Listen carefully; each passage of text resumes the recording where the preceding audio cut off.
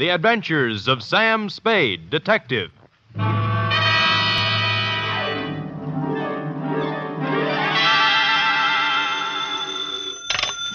Detective Agency. Me, sweetheart. How was your vacation, Sam? Who said it was a vacation? Well, I thought you said you were going skiing for a weekend. With me, Effie, it's always work.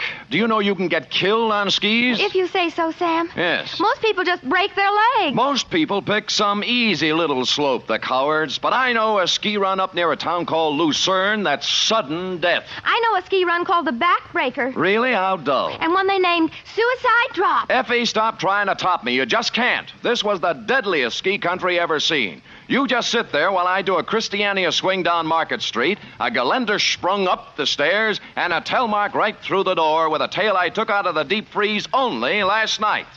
The Chateau McCloud caper.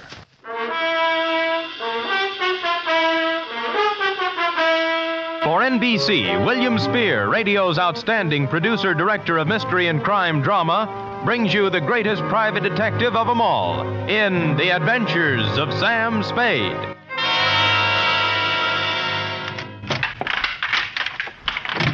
Effie! Oh, oh, Sam. Yeah. Take off those skis. I just wanted to prove I could do it. I did a herringbone up the stairs. and those clothes. I'll just bet you rented all those things, Sam. Uh-huh. You were never in the snow country at all. So, you don't believe me, huh? Well, here, doubting Effie, I brought you proof. And don't tell me I rented this. A snowball. Yes. Sam! A real snowball. Yes, I brought back two of them in a thermos bottle. Where's the other one? I threw it at a policeman. It was uh, freezy, you know, soaked with water and ice. Oh, Sam, you're wonderful. Mm. I can't believe that you had trouble this weekend. Oh, no? You cut that snowball open and you'll find a blood-stained bullet inside of it. And behind the bullet lies a tail. Ready? I'm always ready, Sam. Yes. Mm-hmm. Date, fill it N2, Sierra County Sheriff's Office, Lucerne, California. From Samuel Spade, San Francisco, license number 137596. Subject, the Chateau McCloud caper. Dear Sheriff, you run a neat little county up there at Sierra, and I hate to be snide, but when my train steamed into the cold mountain air of your lovely little village of Lucerne, I knew the chill of death was afoot. It had to be. The place was too beautiful to last. The background hills were right out of the Alps, the snow from Grandma Moses, and the rustic buildings that snuggled under the mantle of white were just too cute for words. It was abnormally perfect. Something had to give.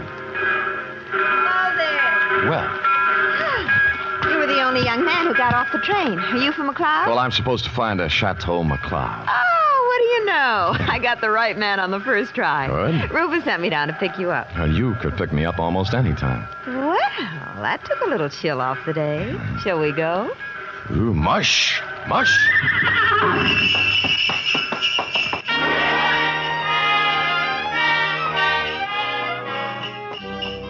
We glided out of the station, runners squeaking on snow, the soft pad of hooves, and the jangle of merry bells. We had a bearskin lap robe. It was a short bear, so we had to move close. Her cheeks were apple red, and her silk brown hair flowed in the spanking breeze. Oh, it was a scene that will forever be etched in my memory. Tells me you're an advertising genius. Well, I have placed a few ads in my day, mostly help wanted. Aha, don't kid me. He says you're going to put the McCloud canneries right on top with a new campaign. On top. You know, you're supposed to have a big name. Just eight letters, Sam Spade. Oh? Well, I'm Rita Parker. Mm-hmm. I'm supposed to be Rufy's girlfriend. Of course, I think it's only to make his wife mad. But Oh. it's fun up here. Yeah, so this is my first trip. Oh, well, then you're in for a treat. Uh, that is, if abnormal psychology appeals to you. What does that mean? The McCloud guest register is always full of dynamite. Oh. For example, this Yeah? weekend reads thusly uh, Rufus McCloud with half of the money in the world trying to get the other half. Good. His wife, who has an interlocutory decree. Mrs. Interlocutor. huh? Yeah, Cora. Yes. Her boyfriend, Paul Endicott, uh, gigolo type. Mm. Uh, Charlie Allison, co-worker and friend to Rufus. He's a, a food technician or something doll. Dull. And then there's Tozier Svenborg, ski instructor, who comes down like a wolf on the fold. Fold and and people like that. yes, well, I'll never remember all the names. I'm in the ad game, you know. It's initials to me. I call people, uh, well, RL, GS, uh, NTG, and well, you know. Well, the names don't mean a thing. Just remember this every 30 seconds, duck. I beg your pardon?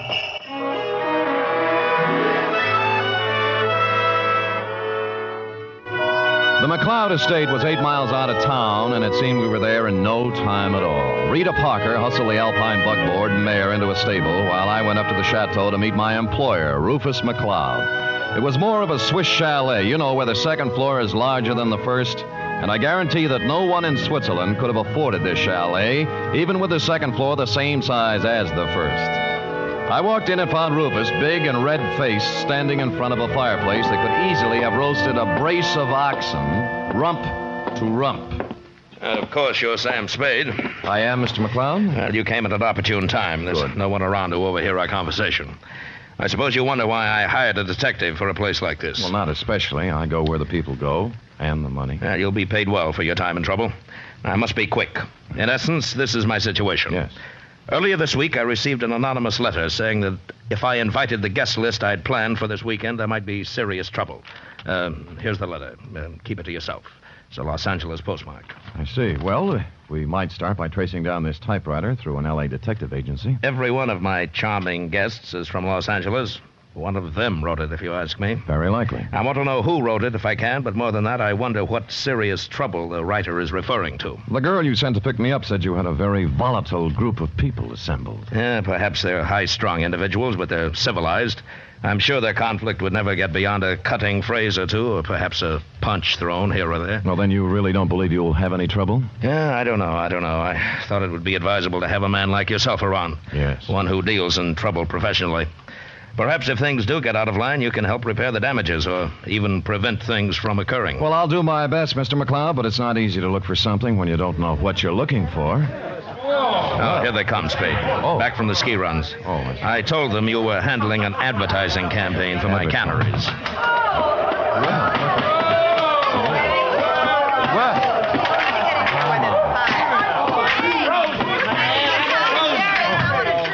Well,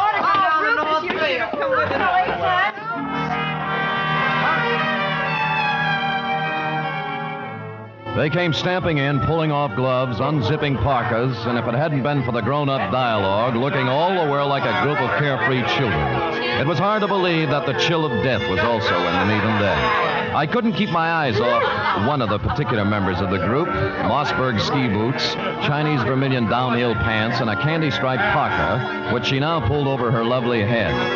The sweater she wore underneath was, I'm sure, designed for someone much smaller. A dachshund, perhaps? Is This the advertising man you've been telling me about, Ruth? Oh, uh, Mr. Samuel Spade, my uh, half wife, Cora. Have? Well, how? How do you do? Glad you came, Sam. We can always use another sport in the crowd. Hey, everybody, shut up!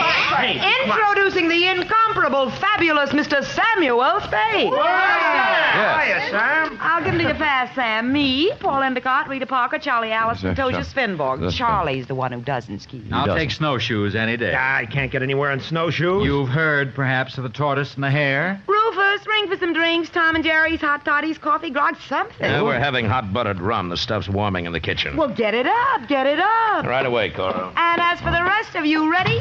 A one, a, what? two, a three. what? Oh, Oh, oh, oh yeah. Old Maine, shout till the rafters ring. Stand and drink a toast once again. Let every loyal Maine man sing. Oh, do do do.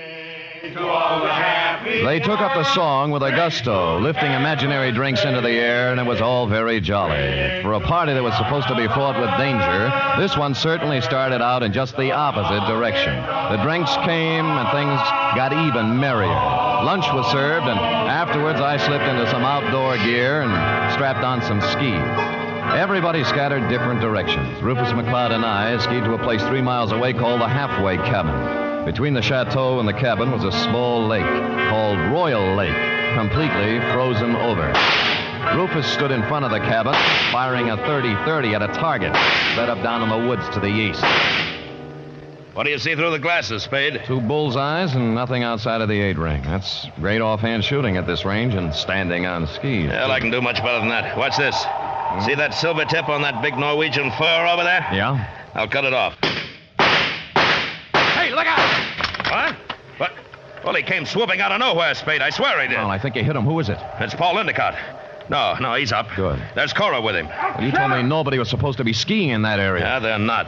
Well, here he comes, and he looks plenty mad. What do I care about him? He just after Cora for the money I give her, that's all. You're going to kill me, you stupid fool. You weren't supposed to be skiing there, Endicott, and it was an accident. Oh, yeah? Well, that was no accident. All right, Tell all you- right, you all right. keep Knock off out the of this. You keep out, or I'll throw one at you. Oh, that I'd love. Paul, now stop it. And the rest of you, quit acting like children. Your boyfriend threw a sucker punch at me, Cora, and even if he is my guest, there's a limit to hospitality. I don't call one punch an even trade for a 30-30 bullet. You weren't hit, so don't start crying. Rufus, I've the feeling you wouldn't mind if he were hit. You wouldn't mind at all.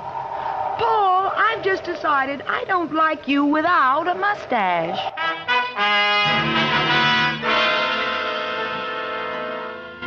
Well, from then on, everybody dropped the pretense, and you knew where you stood. And it was chilly, too.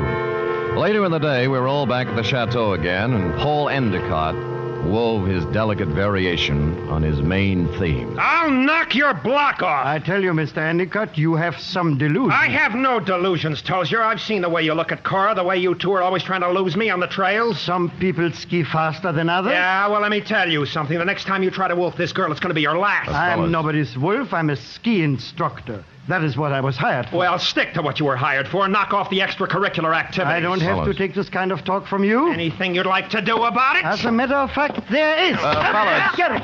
Boys, men. Oh, stop it. Fellas. Stop it, stop it, stop it. Yes. I'll never speak to either Fellas. one of you again. You, uh, Sam, Sam. Yes, you want me to stop them, Mrs. McCloud? No, I want you to take me out of here. Oh, all right. All right. Well, Let's put on our skis and get out of here. okay, here, I'll help you. Oh, thank you. You're such a gentleman. Well, even so, I won't take a minute. You ready? Uh, yes, yeah. There we are. Now, uh, where are we heading, Mrs. McCloud? Oh, I thought we might go out to the boathouse. It's on the southern tip of Royal Lake. It's only a mile and a half. Nothing. And my name is Cora. I'm not really Mrs. McCloud anymore. Well, That's kind of rough on you, isn't it? Bringing your new boyfriend around all of your ex-husband's friends. Well, I like it up here. Rufus likes to have me. And they're not all against Paul. At least they weren't. But he's on the defensive so much, he's going to make enemies of all of them. Yes, he's off to a rousing start, I'd say. You know something, Sam? Hmm? I don't care about Paul Endicott, really. Hmm? Or Rufus McCloud, or Tozier Svenborg, or anybody. I just care about Cora McCloud. Well, now that's a good, honest answer. You know, most people wouldn't be that frank. But, Sam, Yeah? I haven't known you long. Well, I, uh, I like your style. style? I could care about you.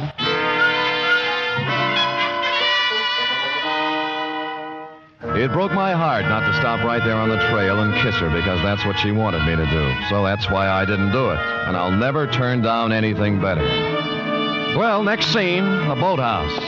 And when we got there, it was not at all the way I thought. A food technician and close friend of Rufus McCloud was there, working on something that baffled me at first. It's an ice boat, Mr. Spade. That's what it is. belongs to Rufus. Yeah, I don't think I've ever seen one up close before. I'd take you for a ride, but this one needs a lot of work before anybody could use it. I'm just puttering. What prompted you to come out here, Cora? Mm, Because Paul and Tozier Svenborg got in a fight over me, and I got tired of the whole thing. Sam and I went out for some air. Oh. Well, glad you did. I was getting a bit lonesome. You see, Sam, they always leave me in a cloud of snow on their skis, and I just plod along on snowshoes all by myself. Well, maybe we can go walking together sometime. I used to be able to shake a pretty good snowshoe. It's a deal. Tomorrow morning, I'll show you the place. Sam, I think I'll stick around here and help Charlie with the ice boat. Oh, Unless you're crazy about ice boats, why don't you go back to the chateau? We'll be there in time for dinner. well, I don't need any engraved inv- exvitation. I hope you catch a common cold.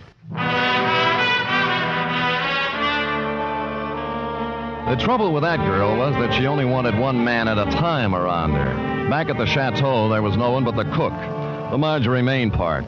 Ah, too tall.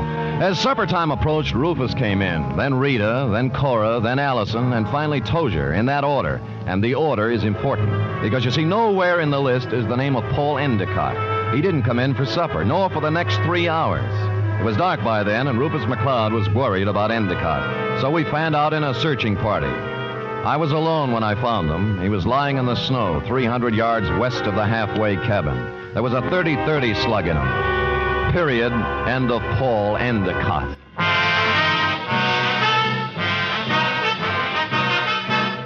You are listening to the weekly adventure of radio's most famous detective, Sam Spade.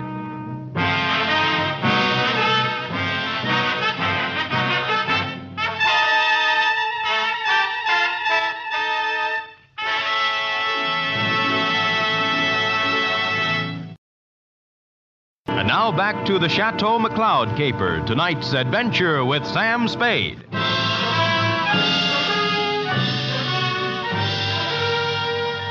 There were no ski marks near the body of Paul Endicott, just his own. Somebody had drawn a bead on him in the dusk from some distance. I started to look for the rest of the searching party and then changed my mind. If the body of Endicott wasn't found, the murderer might wonder what happened to it, get worried, and make a mistake. So I picked him up, carried him to a small cave I found, covered the entrance with snow, brushed over the ski marks, and went back to the chateau. One by one, they all showed up, discouraged. Oh, we, we can't give up. We have to keep looking. I know how you feel, Cora, darling. It's too dark. We'll try tomorrow. Oh, don't worry about him. Paul can take care of himself. How can he take care of himself, Miss Parker, if he got lost? Who said he got lost? I am assuming. I think we're all assuming too much. I'm sure that it's nothing to worry about. If I know Paul, he'll show up tomorrow with some tall tale to tell. What do you think, Mr. Spade? What does an advertising executive know? Cora, your manners. A sponsor might be listening. Oh, well, I'm sorry, Sam. I'm upset. Okay, okay. Frankly, I don't know what to think. But if I were a detective, I'd hazard a guess that uh, Paul met with foul play. Oh, nonsense, Spade, nonsense. Come on, everybody, let's have a drink and have some fun. Paul will be back, and even if he isn't, who really cares? Scotch for me. And I guess nobody cared. Rufus was a little more jolly than usual, and the drinks began to dispel the gloom. It was as if Paul Endicott never had existed. It began to get late, and the bizarre wake broke up. Everybody went to bed, including me. I lay there fully dressed, looking up at the beamed ceiling for an hour. About then, my doorknob turned, and the door slid open and shut. Someone moved quietly to my bed as I was sliding my 38 out of its holster. Hmm? it's me, Rita. Oh. Are you awake? Yeah, I uh, wasn't even under the covers. Mind if I sit down here? Not a bit. Sam, Hmm? Sam, I'm scared. I wish I could leave here. Oh, what's the matter? Paul's dead. I know he is. He didn't mean anything to me one way or the other, but I know he's dead. Anything to back up your feeling? I guess not. It's it's just something I'm sure of. Why'd you come to me? Because you're really a detective and I know it. Oh, me? Oh, I- now you handled a case for my father once. You just don't remember me. All right, I'm a detective. Rufus hired me because he expected trouble. Sam, I'll tell you something about Paul. Yeah? Cora didn't really like him. They were always fighting. She only cares about herself, so she said. Tell me, what kind of a car does Paul drive? Uh, it's a yellow convertible, but it's still in the garage. I checked. Any other cars missing? No, no, they're all there. Oh, and I found out something else. What? Before supper, there was a gun missing from Rufus's gun rack. It's back now. Mm-hmm. Anything else? That's all I know, Sam, except that Paul's dead. I know it.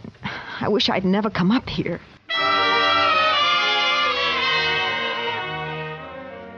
After she left, I dressed for outdoors and climbed through the bedroom window. It was still and quiet, and it was a quarter moon when I skied away from the chateau. I wanted to look the land over myself before the next day, when the clues, if any, were trampled into the snow.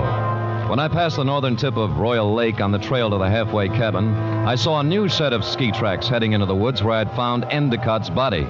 I followed them, and they went right to the cave where I'd hidden him. And he was gone. I was standing there, pondering this, when I thought I saw something move in the trees to the west of me. I stood stock still. That was a mistake. The bullet splintered a tree next to me, and I shoved off as fast as I could. There was no second shot. I circled around in the trees trying to catch sight of someone. Nothing. I kept in the shadows and made for the halfway cabin. It was dark and quiet, at least until I opened the door. I tried, but he had the advantage of surprise and some kind of a club. I ended up on the floor with someone sitting on my chest. All right, I, I have your gun. You make one wrong move, Spade, and I'll use It's It's got bullets in it and a hair trigger, so be careful. We could use a little light. As you see, there's Paul Endicott's body. Yeah. Why did you find him, Tozier? You're only putting a noose around your neck. You're a very perceiving man, Mr. Spade. How do you figure I did it? I talk better on my feet. Just remember the gun. If you didn't kill him, how else would you know where the body was? Because I know this country like the back of my hand. He had to be somewhere. You are the killer, Mr. Spade. Me? Why, I do not know. You found the body before anyone else could. Hid it, then clumsily tried to hide your tracks. Don't be silly. Why would I come back? A murderer always worries about his crime. Did he forget something? Was something left undone? It's a natural. It sounds good, except it isn't true. You couldn't pin it on me in a month of Sundays, but somebody might just tie it onto you. That's what you think. Do you know what I'm going to do now? I wouldn't want to guess. Ah! The shots came pouring in through the window, and Tozier Svenborg went down. I saw the flash of a face outside and was gone. I kicked at the lamp, threw the place into darkness, and lay on the floor. Then I crawled over to Svenborg and took my gun back. Uh, well, well, that was a surprise. Uh-huh. It hurt quite a bit. Where'd you get it? Oh, somewhere in the back. Let me see. Yeah, it's at the shoulder level. But he won't die anyway. I'm, I'm afraid.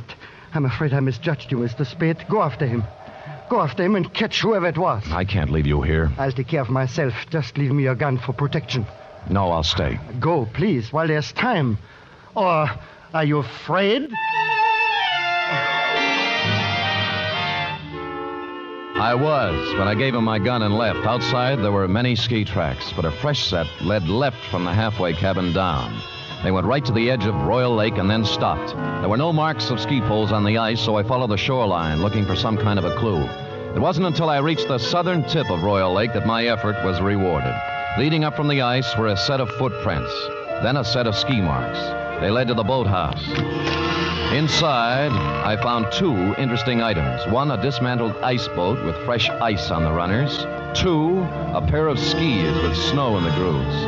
I made my way along the beaten path back to the chateau. Circled it once, found interesting item number three, and went in. Well, what were you doing up, Spade?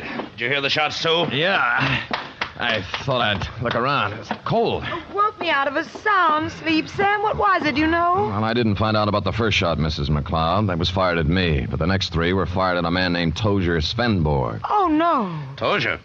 How did it happen, Spade? What's it all about? He found Endicott's body in the woods. Dead? Very. I told you, Sam. I told you. Told him what? What do you know about it? Nothing. I, I just had the feeling, that's all. You know something. Now tell us, or I'll slap the rents right out of your head. I don't know anything, anything at all. I just had a feeling. Who shot Tozier, Spade, and why? I don't know. I was standing with him in the halfway cabin. Somebody shot through the window. Didn't you see them? Don't you know who it was? I was too busy ducking to look. Just answer me one thing. Have any of you been out? Of course not. Uh, no. I haven't, and Mr. Allison's in bed. Of course, they all lied. McCloud's shirt was stained with sweat. He'd been moving fast somewhere. The ski pants sticking out from under Cora's robe were wet, and Rita Parker was now dressed when she wasn't before. I was trying to figure out something to say when Charlie Allison came out from his bedroom, rubbing sleep out of his eyes and pulling a robe on. What's going on here? What's all the excitement about? They found Paul dead, and somebody shot Tozier. No. Where is Tozier? In the halfway cabin. Well, let's get him to a doctor. I'll call one from town. Uh, why don't you go up and get Tozier? I'll have a car ready, and we'll take him right into the Lucerne Hospital. Wait a minute. What about the murderer? Who did the shooting? Nobody's getting out of my sight. It had to be one of us. Why, Cora? Well, it wasn't just anybody. We're the only ones left walking. Why don't you ask Sam? He's the detective. Detective. Yes, I hired him because somebody sent me an anonymous letter saying there'd be trouble. You knew there was going to be trouble, Rufus. Somebody else knew. Then why did you let people come up here? Yeah, what's the big Why idea? did you do... Wait a minute. Spade, what did you find out? Well, if you'll all wait here a minute, I'll tell you. When I circled the chateau before I came in, I'd seen footprints leading to a window, not mine. That meant somebody else used the back way in and out, too. I wanted to find out whose window it was, and of course, while I was looking, I remember the apparently dismantled ice boat and the fact that a set of skis were in the boathouse. It took me about a minute to find the right room, but somebody knew it. All right, Spade, stand where you are. Allison, you might be a great food technician, but you're a lousy killer. Yeah, well, at least he didn't get her. Neither will you. Oh. I've got him, Spade. All right, come on, stand up. Come on. You sap. Cora, huh? Do you think you could get her by killing somebody? Shut up, leave me alone. I'm sorry for you. Sorry for anyone that ever knew her. I'm sorry for myself. She loves me, you fool. She. What's the matter? I was sound asleep. We found our killer, Mrs. McCloud. Charlie? Yes, baby. I.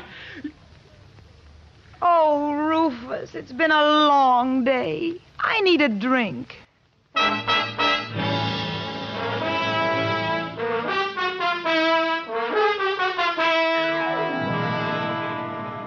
And that goes to show you how cold it can get in the snow country. Effie. Period. End of report.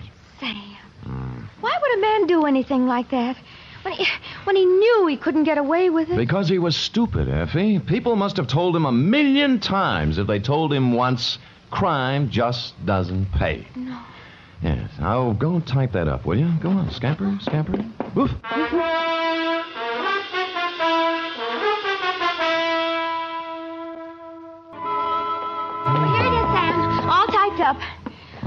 P.S.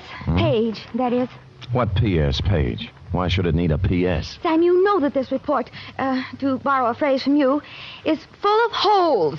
My phrase? I wish I'd never said it. Now, for instance, who sent the note to Rufus? Paul Endicott. He expected trouble. That's why he was so belligerent to everybody. All right. Yes. I'm going to come right out and ask you. Good. Why did Allison kill him? Well, I thought it was rather obvious, Effie. Cora was leaving Rufus McCloud for Allison, but because Allison worked for McCloud until Cora's divorce was final, they didn't want Rufus to know about it. So they used Paul Endicott as a decoy love affair. But I'll bet Endicott didn't want to give Cora up. Hmm. I'll bet that was it, Sam. Effie, I don't know how you ever guessed. Endicott saw in it a chance to pick up a buck with a little blackmail. It was just a wild guess, Sam. Yes. And of course, Allison did ski, didn't he? What do you think? Well, how else could he get around so fast? and he made such a point about those snowshoes. Hmm. Sam, Yes? if I'd written the caper, I'd have covered that up a little. Come here. Oh, I'm sorry, Sam. I guess I shouldn't have said that. huh? You certainly should not have. Oh. You know there's only one thing around here you're supposed to say. Yes, Sam, I know. I know. Shall I say it? Make it fast. Good night, Sam. Good night, sweetheart.